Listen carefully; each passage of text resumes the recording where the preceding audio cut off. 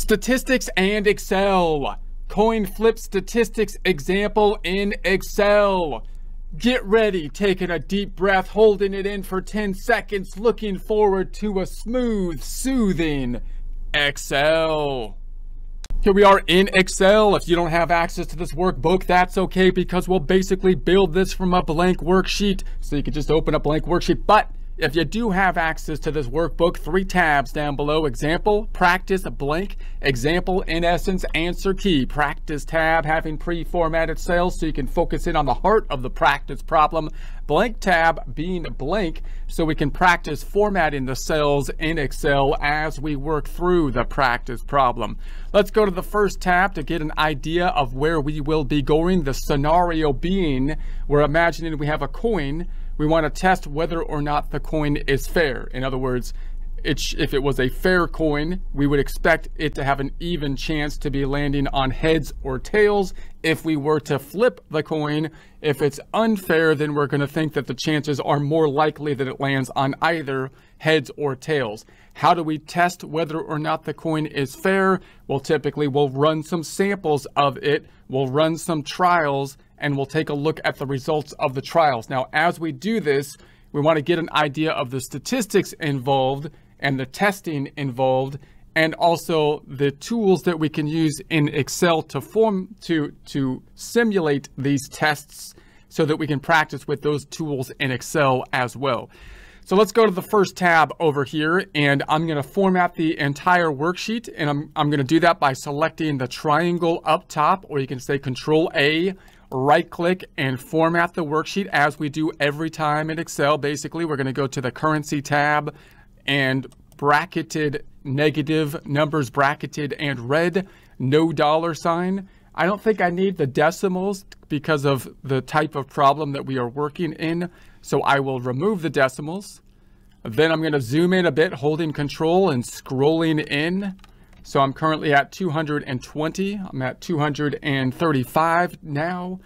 And so now what we want to do instead of actually flipping the coin multiple times is say, how can I simulate that process in Excel? Now, if we had an even flip, a 50-50, then we have the, we want a, a, a random outcome between two variables. So I can use my random, uh, random function in order to do that. So let's first think about that. Let's, let's think about how we can get a, a, a random function between one and two. Now, remember when you're flipping a coin, that in theory, you can say, well, if the coin was fair and I was to flip it for the entire population being infinity, infinity times, then you would think I'd get an even break between 50-50 heads and tails. So when we actually do a sample, when we test it, what we're really, you can think of that as a similar thing as taking a sample from the entire population. In this case, the entire population being infinity flips, a theoretical concept. And we're testing it with a, a finite number of flips and then seeing how close we get to what we would think would be the appropriate response given the whole population would be 50-50 in infinite flips. Like that's one way you can kind of think of it with our sampling concepts.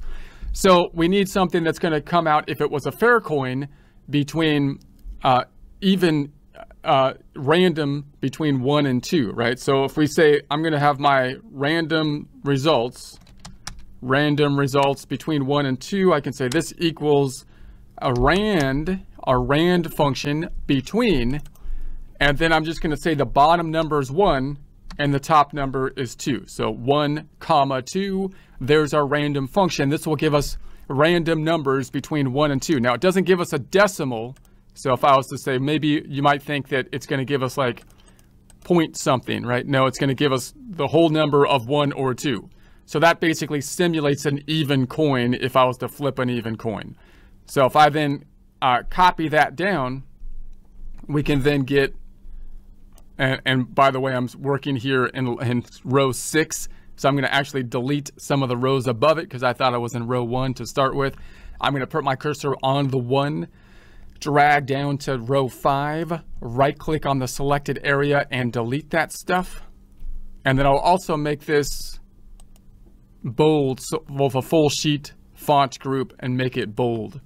So then if I'm on number one, I'm starting at number two. If I was to copy this down like a hundred times, let's say we copied it down, you know, a hundred times, then we would have a, a sample in essence of a hundred flips, right? And so now we've got random amounts of one and two. Notice that every time I click on them, they randomly shuffle uh, again.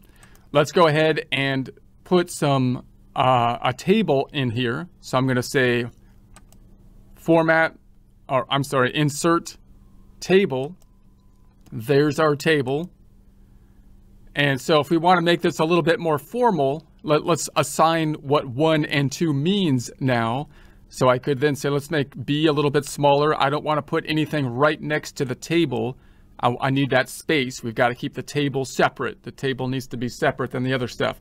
And so I'm going to say the heads, uh, uh, or a one represents heads, right? So one represents heads and tails is going to be the two. The two is tails.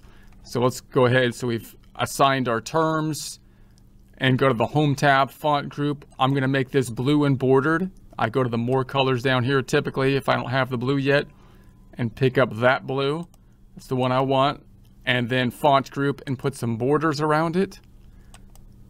All right, so then what I'd like to do instead of having this shuffling around all the time, I can then copy my results. I'm going to copy this whole tab and then paste it special without the formulas. Paste it with, with just the just the numbers, one, two, three. So I'm going to copy, put my cursor on A column, right-click the cells, copy them, and I'm going to put them over here somewhere in like F. I'm going to paste them one, two, three because I don't want the formulas there anymore. I just want the results of that shuffled those shuffled numbers. So I'm going to put one, two, three. So there we have it. Let's make another, oh, hold on a second. It didn't paste one, two, three. I'm going to paste it one, two, three. Okay. And then I'm going to make a skinny E column, skinny E.